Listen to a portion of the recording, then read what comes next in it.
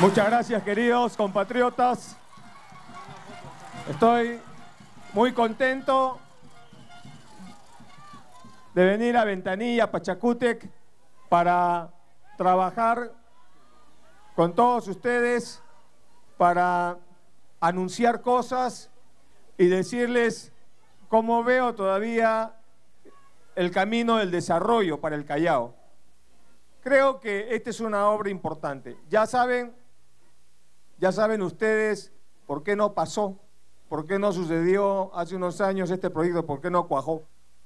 Hoy día estamos corrigiendo todas esas fallas, estamos resolviendo los problemas y le estamos poniendo la plata, 490 millones de soles, para que esta obra sea realidad y beneficie a un cuarto de millón de peruanos que viven en la zona de Pachacútec. Y y lo que quiero también señalar es que tenemos que recordar lo que fue Ventanilla. Eh, el Perú se construyó de manera centralista, no tenía una visión de lo que estaba pasando en el interior de la patria. Y mucha gente que hoy día ha venido a, Ventanilla, a Pachacútec, a mi Perú, vienen de la zona andina, vienen de la zona de los pueblos del interior del país que en su época vinieron a buscar futuro, corridos por el terrorismo, corridos por la falta de oportunidades, porque no habían carreteras, no había electrificación, no había desarrollo en el interior del país. Entonces, cuando eran jóvenes, le dijeron a sus padres, ¿sabes qué? Papá, yo me vengo a la capital a buscar mi camino, a buscar mi destino, porque no quiero vivir en un sitio donde no hay oportunidades para desarrollarme. Y así se pobló gran parte de la periferia que era de Lima.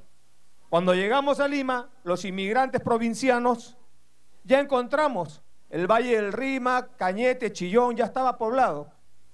Ya no había sitio. Tuvimos que buscar los arenales. Tuvimos que irnos un poquito más al norte, un poquito más al sur. Y a venir con carpas. En esa época veníamos con esteras. ¿no? Poníamos nuestra estera ahí y teníamos que posicionarnos ahí y agruparnos porque también habían los traficantes de terreno, esos que venían con armas y venían a meter miedo a la población y estafaban a mucha gente. Así que así empezó la historia de Ventanilla. Los dirigentes, los viejos dirigentes, muchos de los cuales ya no están presentes, lucharon para el reconocimiento de estos asentamientos humanos de estos pueblos jóvenes que sigan poblando por, la, por los arenales y le ponían el nombre, algún nombre, algún personaje para que los apoye. Porque todo vale en ese momento. Hoy día, hoy día Ventanilla, hoy día Pachacútec, hoy día mi Perú, son centros, son centros importantes porque se está generando desarrollo. Porque la población que llegó la siguiente generación, los que ya nacieron aquí, se han comprometido a desarrollar el Callao, a desarrollar su entorno. Entonces se van formando asociaciones, se van formando pequeños negocios y van demandando servicios. El Estado pensó cansarlos. Dijo, si no les damos, se cansarán y se regresarán. Y hemos demostrado que la voluntad de la población es más fuerte, perdura, y hoy día, hoy día vengo a anunciarles lo que, como ya decía el ministro de Vivienda, muchas veces ya les han colocado la primera piedra y no se ha hecho el proyecto. Hoy día esta es una obra con financiamiento, una obra donde ya estamos claros de dónde va a salir el agua y esa agua a dónde tiene que llegar. Tiene que llegar a la casa de todos ustedes. Por eso vengo acá a anunciar este proyecto. Y a decirles y a decirles que la inclusión social que venimos construyendo no solamente es en, Pachacútec, sino es en todo el territorio nacional. Porque así como en Pachacútec, hay muchos sitios en el país donde falta todavía el agua, donde falta la electrificación, donde faltan los caminos. Por eso, justo estaba hablando con, con Milton y le digo, terminamos el agua y nos ponemos a trabajar pistas y veredas también que faltan acá. Pero hagamos las cosas. Hagamos las cosas. Ahora, ahora queremos decirles a todos ustedes, queremos decirles que son importantes, que han demostrado con el sacrificio de sus padres, con el sacrificio de sus abuelos y con el sacrificio de ustedes, han demostrado que sí se puede construir desarrollo hasta en un arenal. Podemos desarrollar, podemos cambiar la naturaleza, no solamente de nosotros, sino de nuestro entorno, si nos unimos, si nos damos la mano, trabajamos todos juntos, los alcaldes, el gobierno regional, las autoridades, nuestro congresista Rogelio Cánchez. Y de esta manera sí podemos sacar adelante Pachacútec. Ayer hemos celebrado un Consejo de Ministros descentralizados con el Callao, donde han estado sus autoridades.